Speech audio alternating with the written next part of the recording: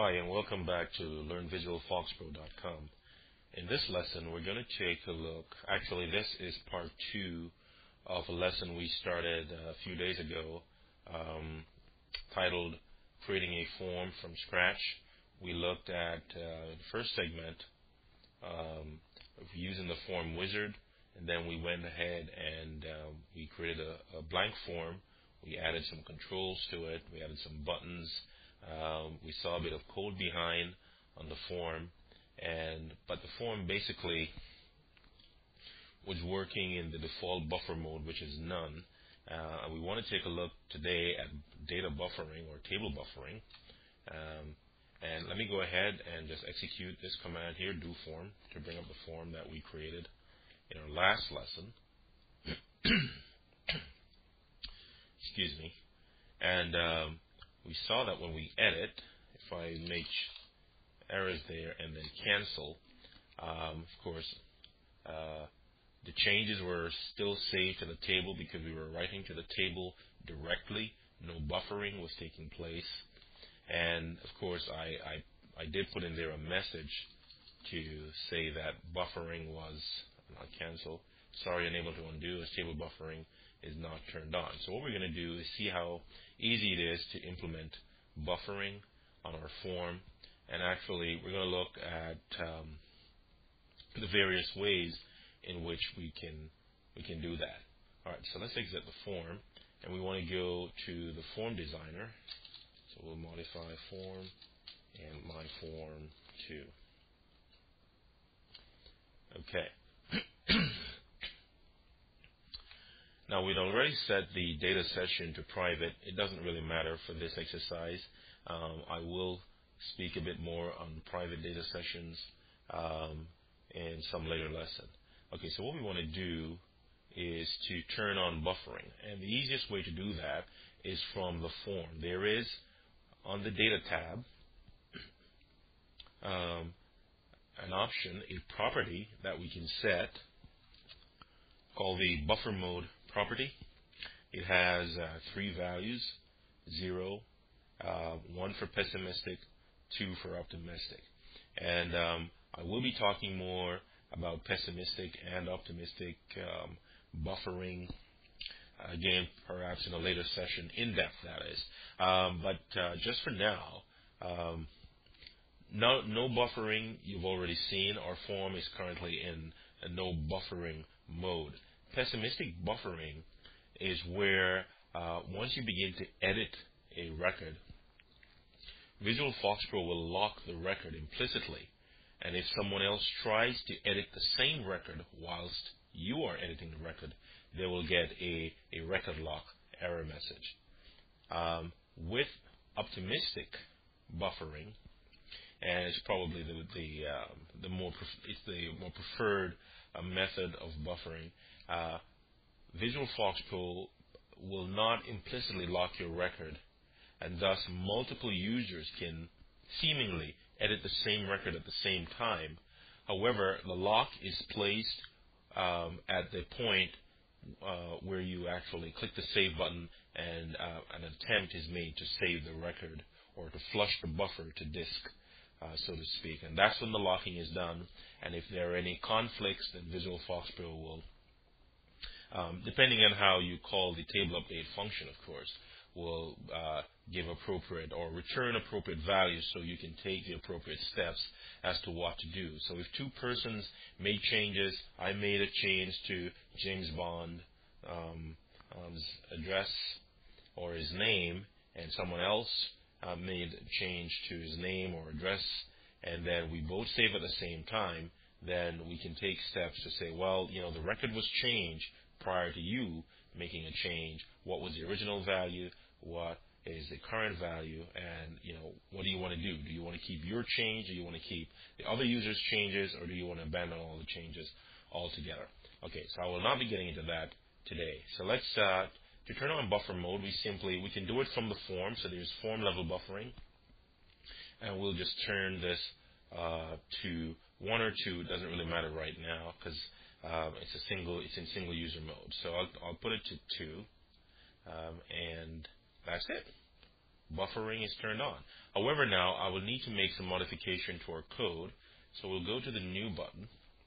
When buffering is turned on, to actually save the record, I'll need to call the a function called table update.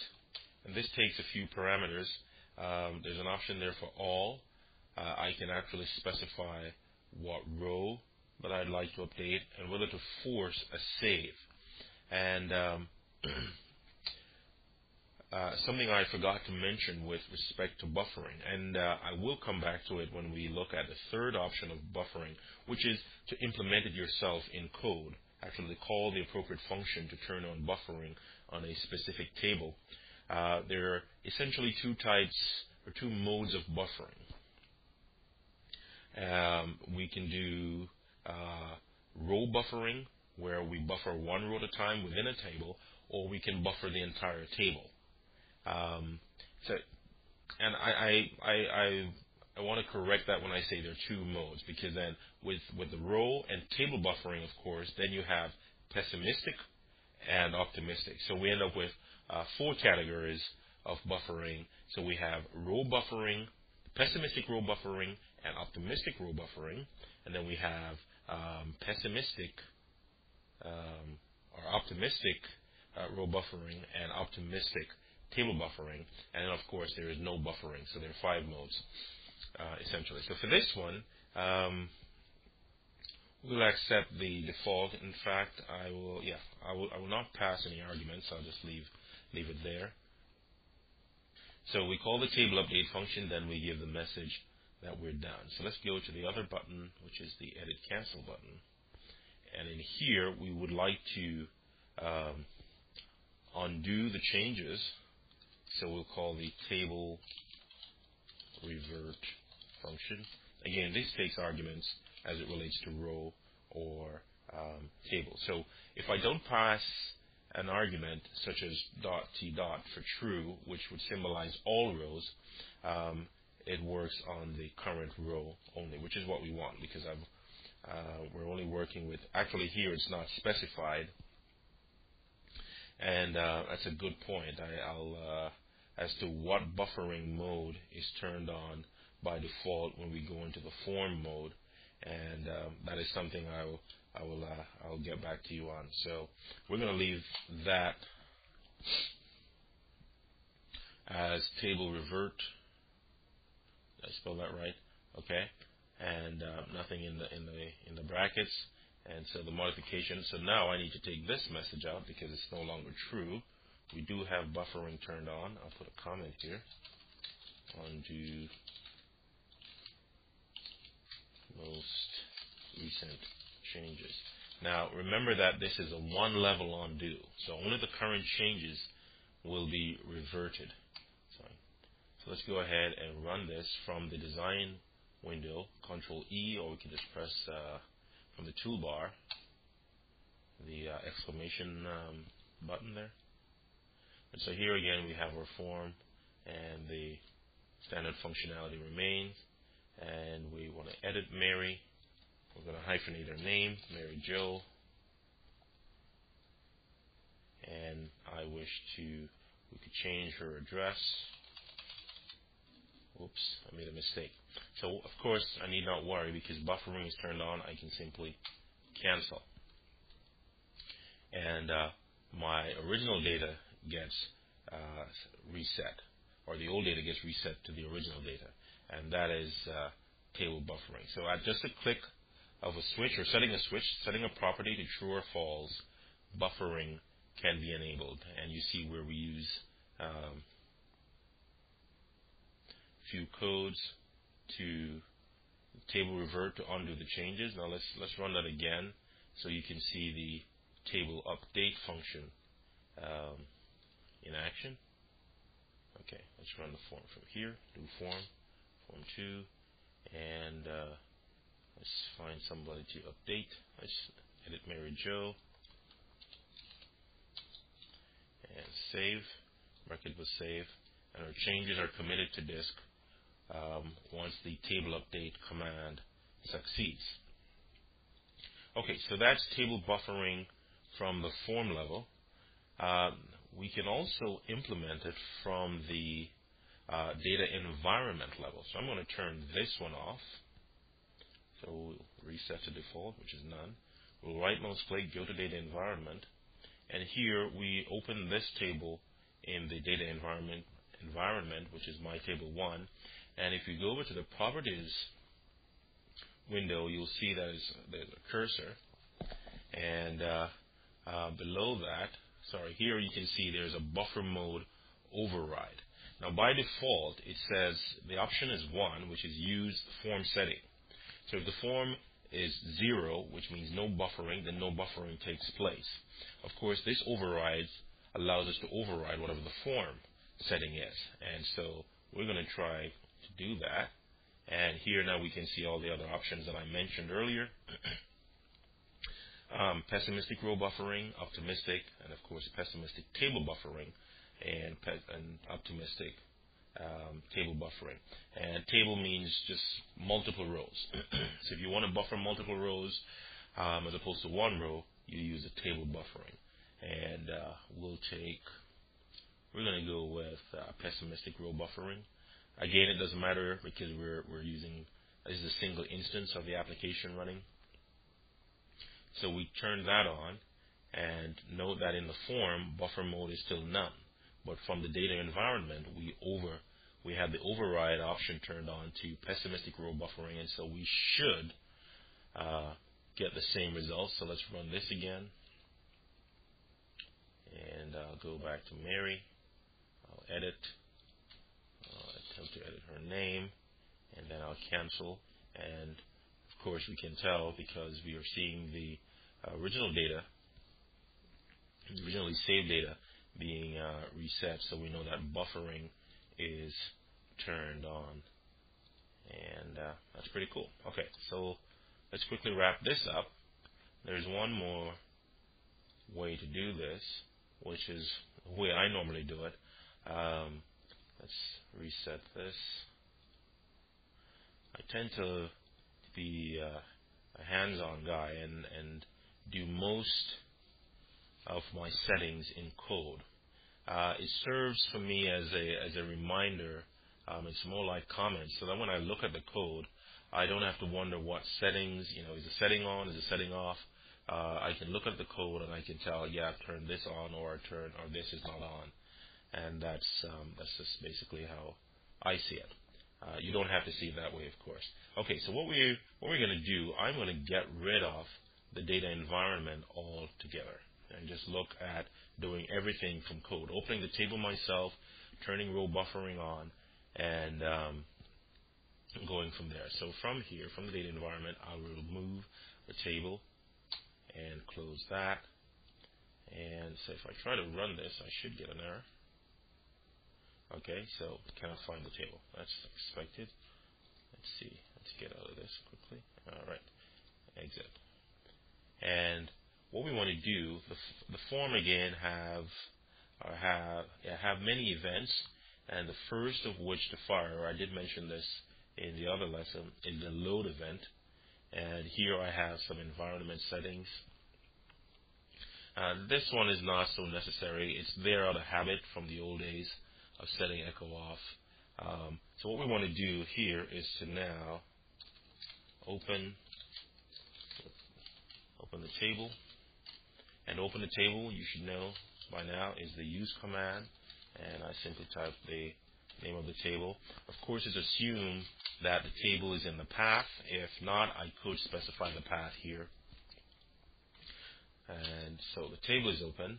And now I want to turn on, turn row buffering on. To do that, we use the cursor set property and it's abbreviated to set prop function, cursor set prop, and um, I'm so happy for IntelliSense because usually I'd have to remember all of this stuff here. And so you see when I highlight buffering, I get all the options there. One is the, one is the default, which is row buffering, table turn, um, row and table buffering turned off. Uh, two, pessimistic row buffering. Three, optimistic row buffering. And I'm going to go with three. So I'll select comma here and then I'll type the number 3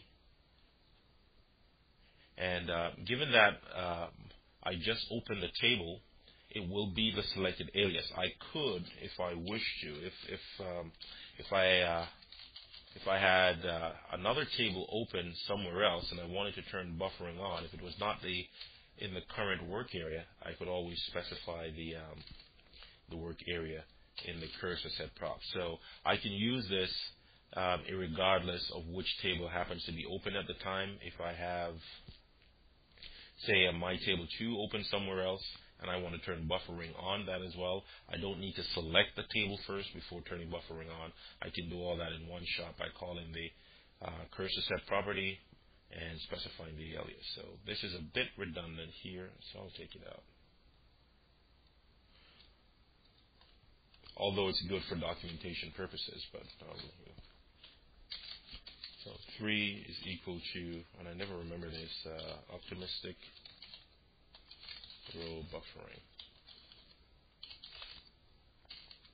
Okay, so and that's it. Use table 1, cursor set prop, buffering is turned on, and what I'll do is in the form, and we're going to look for the unload uh, method, which fires when the form is being closed. So when we unload, I will say if used uh, my table 1.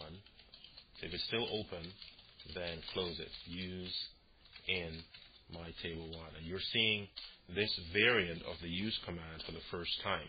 So uh, regardless of where table, what work area or where table 1 is open, so if it's in work area 1 or work area 10, um, it doesn't matter. This will ensure that it gets closed. If it's used at all anywhere, then use in wherever it's uh, selected. Okay, so we close that and um, close the form here. No other changes are necessary. I can go right ahead now, run the form, and we get an error. Okay, and this is an important thing, and this is what happens when we when we uh, use the, the, the options or the properties from the either the data environment or the forms um, or from the form designer is that it, it, does things for us that we're not aware of. Now, this is a key thing. Set multi-locks must be set on. Set multi-locks allows us to lock um, multiple records in a table.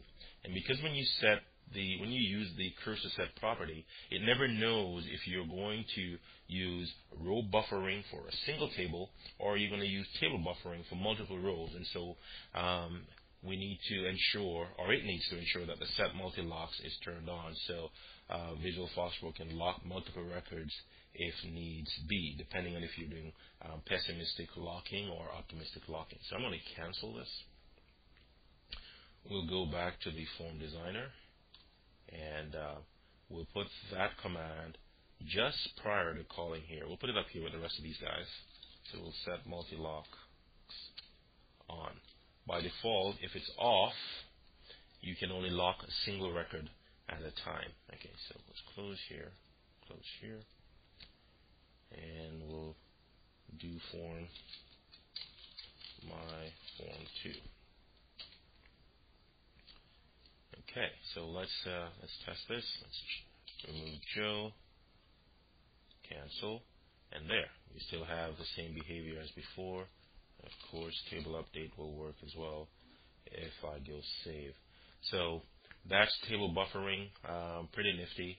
Again, we have the options from the form designer, uh, from the data environment, or if you prefer to get your hands dirty, you can implement it all in your own code.